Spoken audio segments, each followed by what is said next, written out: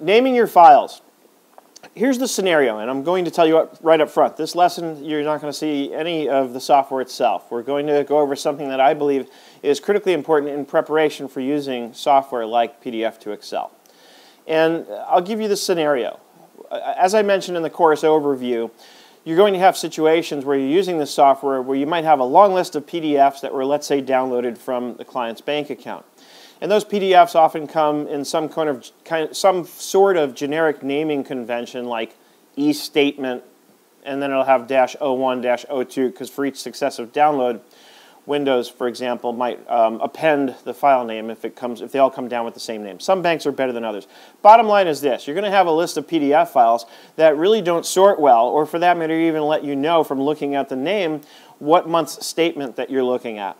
So I have a standard file naming convention that I use that A will let you know a, a lot of the high level information that you need to know about the statement before you even open it up and B will make sure that the files themselves sort well, even if you're going across years. And you'll see what I'm talking about when you get into the rest of this lesson as far as what I'm going to show you in terms of how I name the PDF files and why I name them precisely the way that I do. Let's uh, go ahead and see what this looks like. We're going to be using a sample set of bank statements here.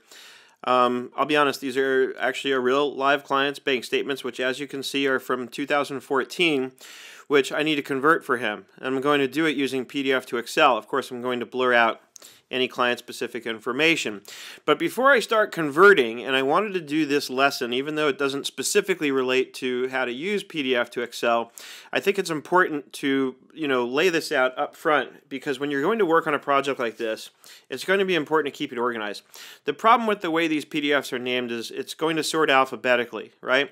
So I have April and August. I don't want that. I want this sorted in chronological order. So what I like to do is I like to name it this way. I'm going to take April 2014 and I'm going to rename it. And we're going to call this 04, right? So that it comes up number 4. I don't like the lowercase lettering. April 2014.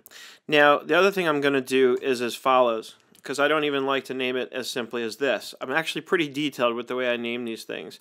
So we're going to open this up, and we're going to see that uh, the bank account is with and this is the funniest thing. This is it's funny. I picked this on purpose because it's such a poorly formatted bank statement to begin with. Um, you don't even see what bank this is with, uh, and I need to find that because that's how I like to name it. There it is. So it's Comerica Bank. The only way you know what bank it is is that it's down here in the address where it says write to us. I mean, the bank name should be prevalent right up at the top. So here's what I'm going to do. I'm going to open up Notepad real quick and because this is how I'm going to get down the naming convention that I want. So it's really going to be Comerica, right? And then the last four digits of the account number. So I'm going to do that. I'm going to blur it out for, you know, when I edit the video, of course. And then I'm going to say, at the beginning, we're going to say 04 Comerica because, again, I want this to, uh, to sort that way. Or actually, I take that back. I've changed around the way I name these things because as long as they're all starting with Comerica and the account number, then they're all going to sort the way I want them to. So now what I like to do is 2014, the year first dash 04 dash, and what's the closing date? 30. So now I have 2014 April 30th. That's how we're going to name this. So I'm going to copy that from my notepad, move that over to my other screen. We're going to close this. This is almost like a lesson in how to use Windows to name and organize files. But I think it's important. And now that I have that, what I can do is, now, so now I have August 2014.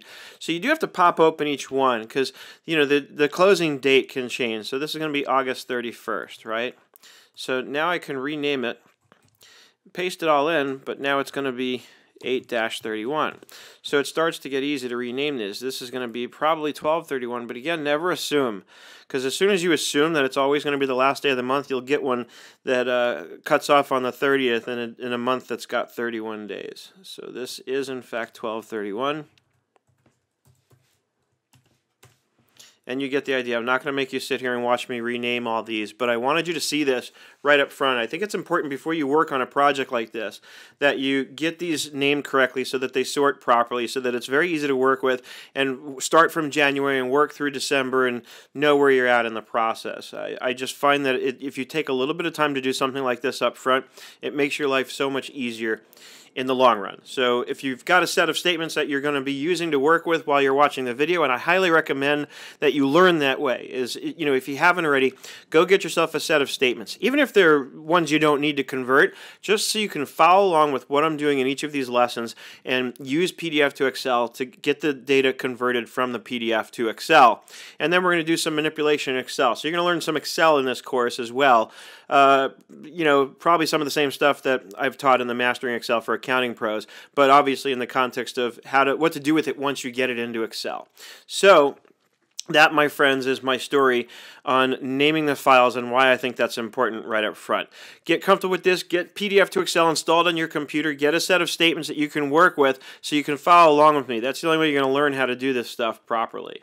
I'll see you in the next lesson. As you can see, when you name your files properly, it's going to make your whole workflow process much easier, much more streamlined.